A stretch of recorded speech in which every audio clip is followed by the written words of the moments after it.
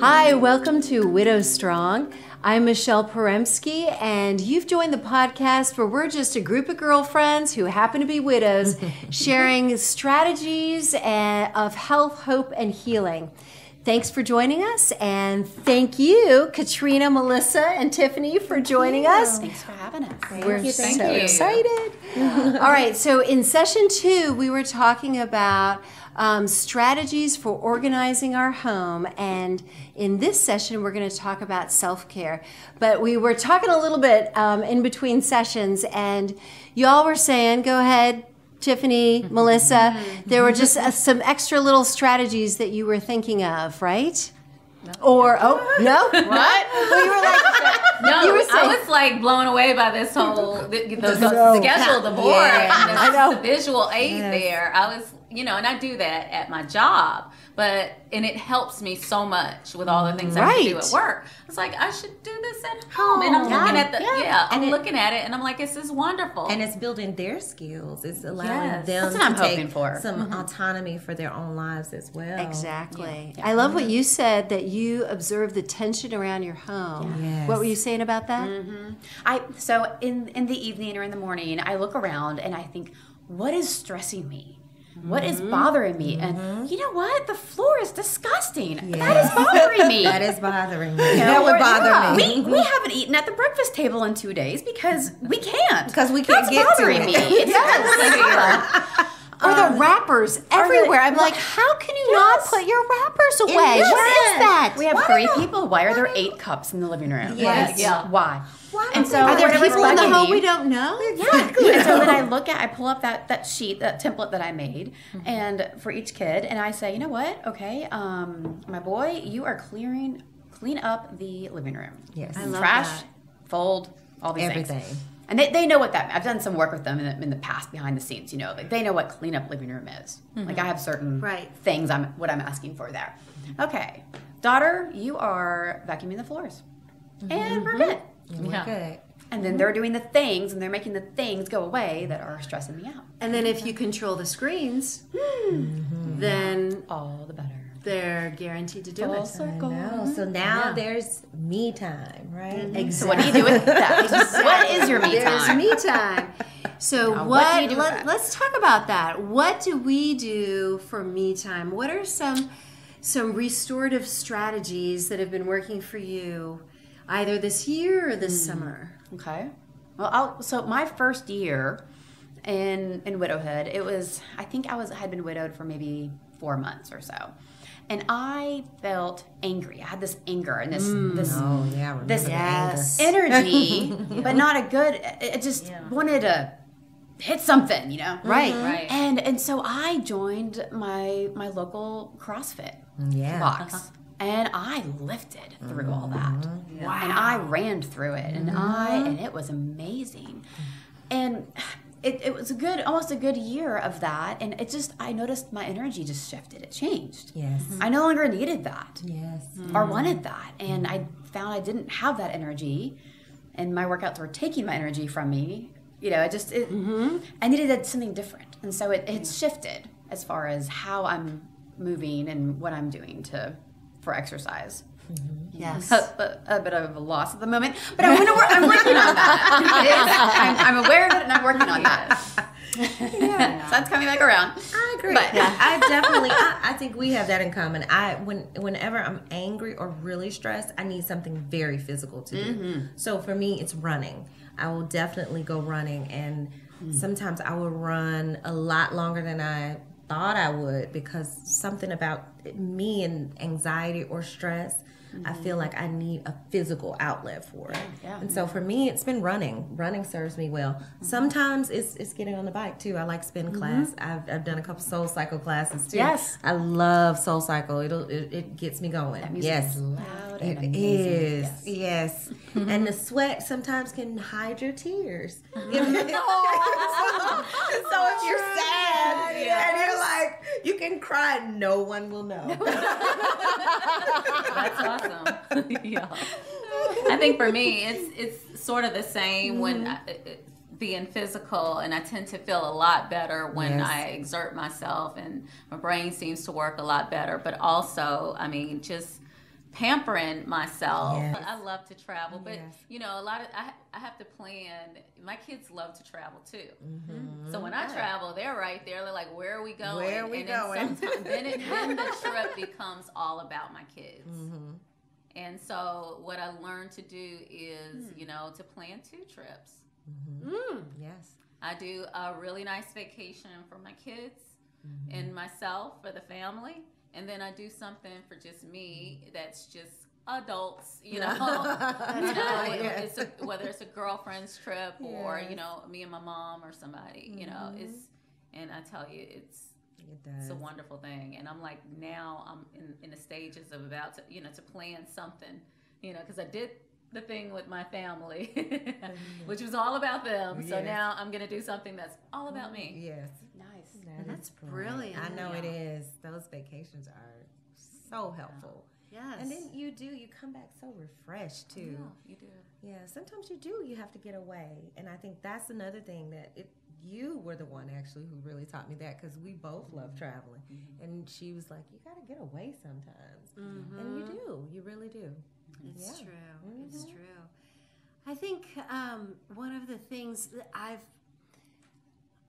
I'm a producer by nature. I make I like to make stuff happen, and so I worked in the news. I used to work uh, as a producer for a period of time for network news, and and when I get stressed out, man, I work.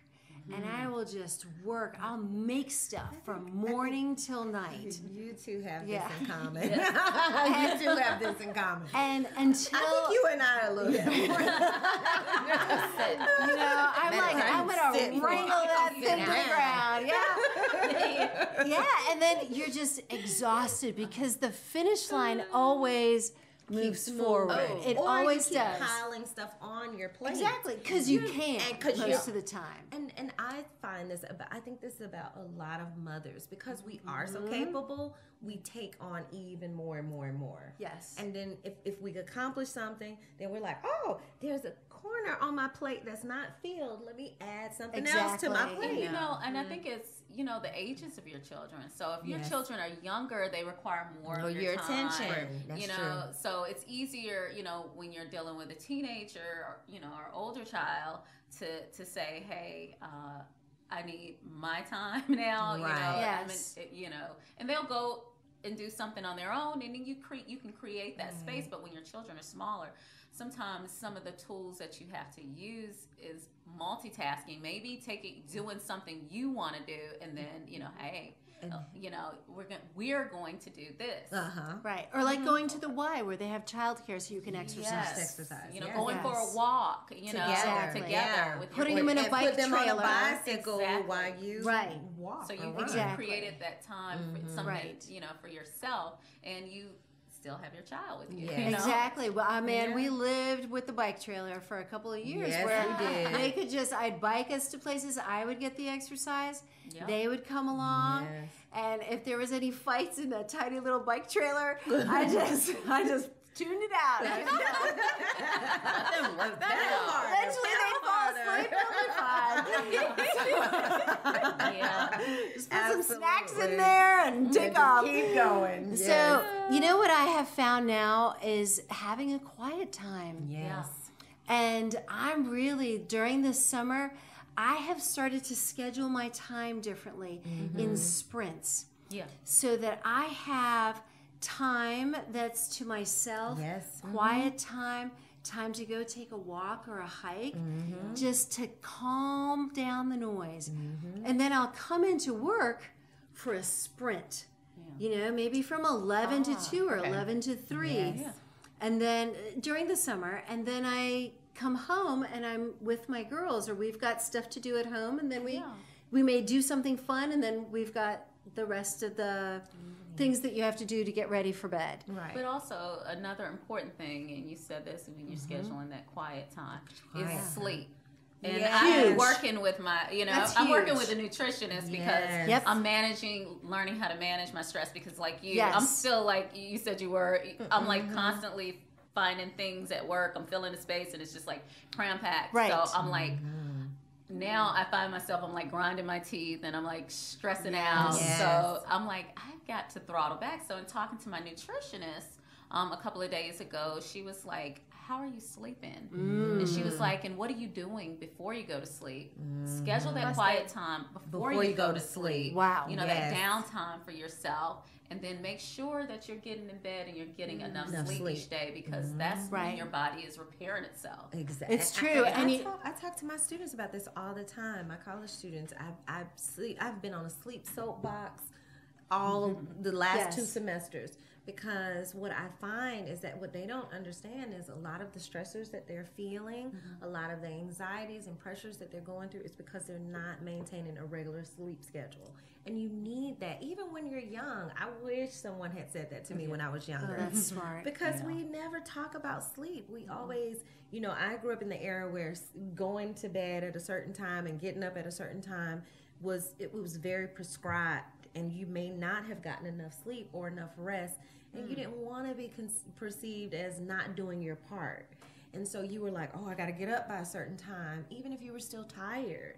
And we ignore all of those signs for so many years, and then we don't know what it's like to take it down and actually get Yes. a restful night's sleep. And you know how what? important it is. I'm sorry. Uh, That's okay. No. The, um, well, it's I've what I've read is every hour you get before midnight is like two hours of restorative health in your body.